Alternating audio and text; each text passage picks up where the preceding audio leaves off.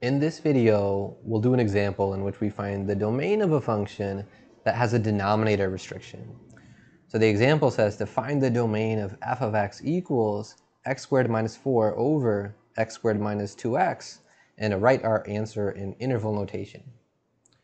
So recall that domain is talking about all of the possible inputs of our function, everything that we are allowed to plug in. And in a problem, when the domain, when we're given a function and the domain isn't specified,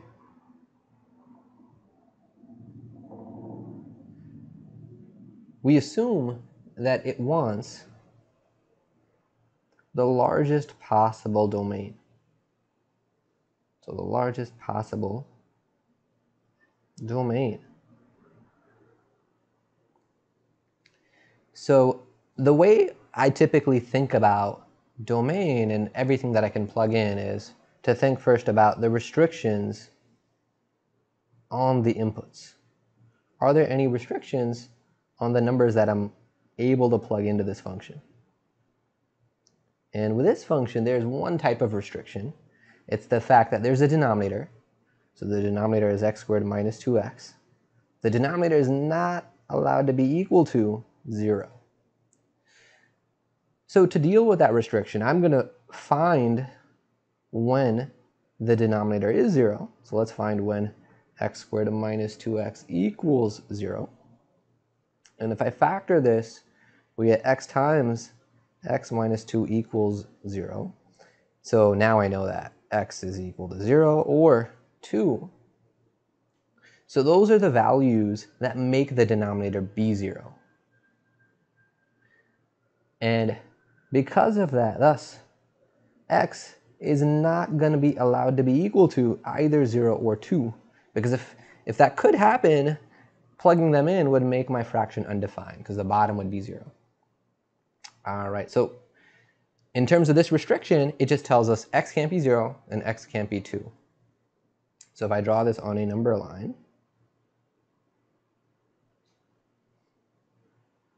so I'm going to make a number line and I'm going to put 0 on it and 2 on it.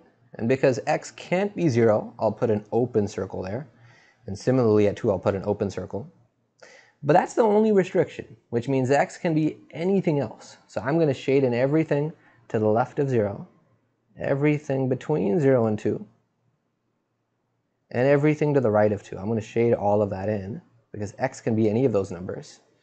And now we're ready to write down our answer in interval notation. So we're ready for some interval notation. So in interval notation, the first interval goes from negative infinity to 0. At negative infinity, we always write a parenthesis because it's not an actual number, so we can't actually reach negative infinity. Because 0 is not included, I put a parenthesis there. When I have multiple intervals like this that I need to describe, I'm going to join them with the union symbol. So this symbol is a symbol for a union, which means, in words, it's like the word or. Either I'm going to be in that first interval, or I can be in this next interval, which is 0 to 2. Parentheses at both of those because I can't be at 0 and I can't be at 2. One more union, and the third interval is from 2 to infinity. And that is our domain. So in the next video, we're going to do another domain question that has a square root restriction. Same function, just going to put a square root over the whole thing.